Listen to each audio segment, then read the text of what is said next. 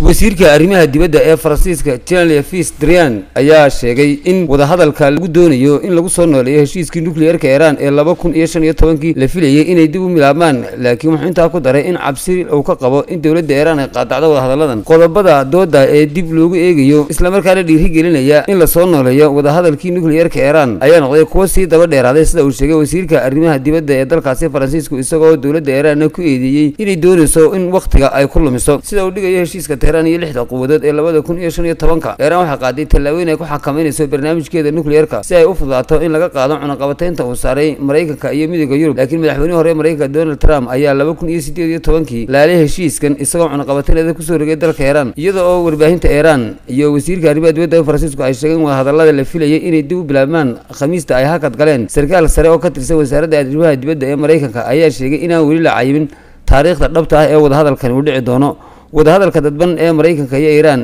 oo uga socday magaalada fiyaana ayaa ujeeddadu ahayd sidii labada dhinac loogu buurin lahaa inay dib u bilaabaan ku dhaqanka heshiiska. Wadahadalladan ayaa u dhexeeyay labada dhinac iyada oo loo marayo hab diblomaasiyadeed.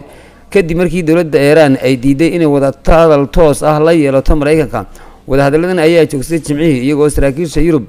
iyo maraykankuna ay muujiyeen in aanay ku qanacsanayn dalabaadka ballaadhan ee dowladda cusub ee iiraan sarkaal sare oo maraykanka ah ayaa sheegay in dowladda iiraan aanay wax tanaasulaada ka samaynin wadahadalka wareegii hore. Dhinac walba waxa uu ku adkaysanayaa mowqifkiisa hore iyada oo aan wax horumara laga gaarin wadahadalladan la taliyaha amniga qaranka maraykanka jack sullivan ayaa sheegay in madaxweynaha maraykanka iyo ruushka oo ka mid ah lixda quwadood ee waaweyn ee heshiiska nukliyeerku kuwaasi oo ay weheliyaan ingiriiska shiinaha faransiiska iyo jarmalku ay talaadadii yeesheen. Dooda iiraan ayaa muujisa inaanay dhab ka ahayn miiska wadaxaajood kooxdan shanta dowladood ee golaha ammaanka iyo jarmalka oo u muuqda inay yihiin koox ay ka go-an tahay inay sii adkaato xaaladani. Hadal uu jeediyey isniintii agaasimaha c i eda maraykanka ayaa ku sheegay in hay'addu aanay rumaysnayn in hogaamiyaasha dalka iiraan ay go'aansadeen in horumar laga gaadho barnaamijka nukliyeerka iiraan